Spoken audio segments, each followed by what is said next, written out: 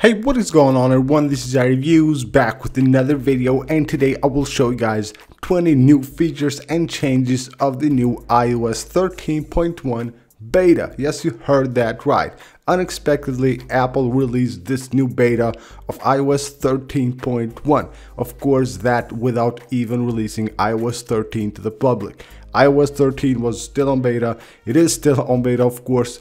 On beta 8, the beta 8 was the last one, and now they go ahead and release 13.1 beta. So let's wait and see when they will go ahead and release a new beta and see whether they will continue with this, continue with iOS 13 beta 9, or both at the same time. So let's keep all that aside and let's focus on the new features of iOS 13.1 beta.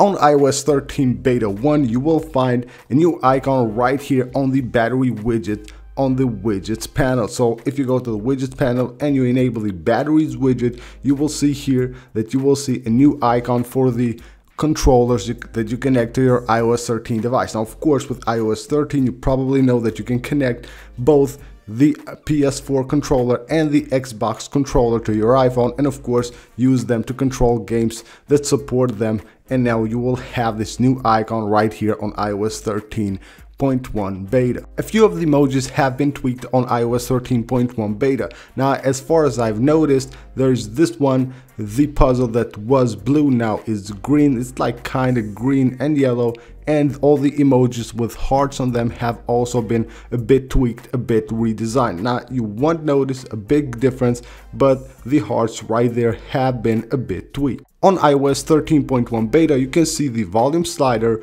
when you're on a call will have the icon of the phone right there. So you can notice right there you're on a call and it won't have the speaker there as an icon, but it will have that icon of the phone. Also, if you're playing music, whether that's on a Bluetooth device, on your AirPods, Apple Beats, all that, you will notice that right there it will show the icon of the device where you're playing music on the slider of the volume. You can see right there it shows Bluetooth and it will show the Bluetooth icon right there on the slider. Of course, it has all the same functions as the normal volume slider. On the 3D touch menu of the settings app, there's a redesigned icon for the battery. Now it used to be like half charged right there the battery and now it's fully charged. You can see there it's fully charged and it looks much nicer. If you want to send something via airdrop, you will notice that right now iOS 13.1 beta will show like icons of the devices that you're sending those items to. So if I want to send this to my iPad, it will show there an iPad Pro. Now, if you want to send it to an iPhone, it will show an iPhone, of course, to which device you want to send your items, it will show that device right there on the airdrop list.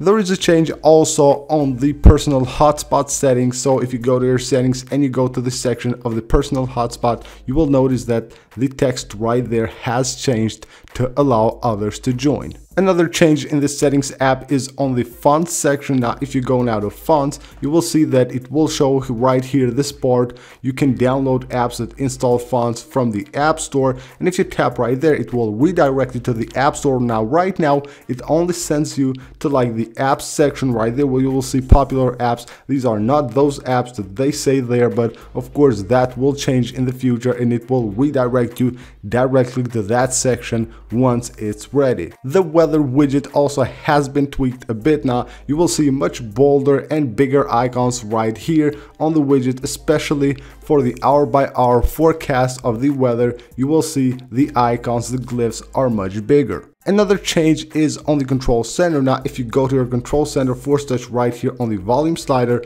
you will notice that this icon is much bigger now than it was before. This is also a bit of a tweak on iOS 13.1 beta. Another change that I have noticed on iOS 13.1 beta is that when you go to set a wallpaper on your device, it doesn't let you resize the wallpaper. So you go right here and you can see normally you can resize this, you can move it around. I don't know if this is actually a bug or a feature. It might be a feature. It will fit like the wallpaper perfectly and won't let you move it. But right now you can see right there, you won't be able to resize the wallpaper at all. You will just have to set it as it is. If you use test flight and you test beta apps, you will notice a change right here. Now, of course, the beta apps have this little dot right there that indicate that they're on beta. That used to be orange and now with this new update, that color has changed and now it has a lighter color. It's actually yellow. That has changed on iOS 13.1 beta. Share ETA is also back on iOS 13 with iOS 13.1 beta.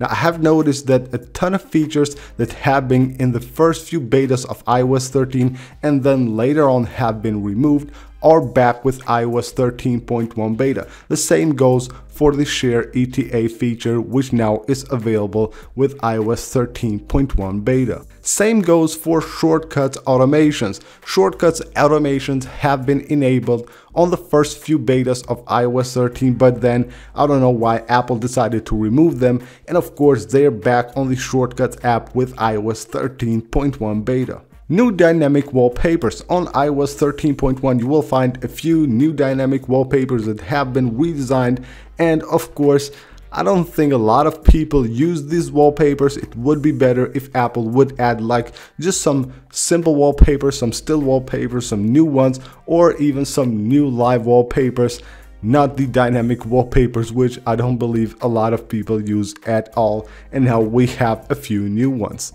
On iOS 13.1 beta, if you go to the settings app and go to books, you will find here reading goals. Of course, this has been a feature since the release of iOS 13, but now we have a new option with iOS 13.1. You will have an option right here to include PDFs. So basically the time that you spend reading PDFs will also be calculated on the reading goals. Going to the Apple Watch app, you will notice here a small change. Now, if you scroll down, you will see here Nike Run Club. Now, this used to be Nike Plus Run Club, and now it's just Nike Run Club. Of course, just a little change right there.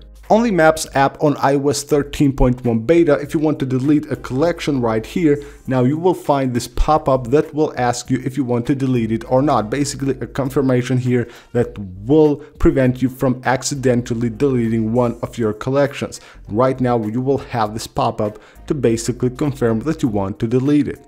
There are also new animations and also a new icon redesign on the NFC section right here. Now, I got this screenshot from Reddit. I haven't been able to reproduce this myself, but basically here is a redesign of the icons and also there, there are supposed to be a few new animations.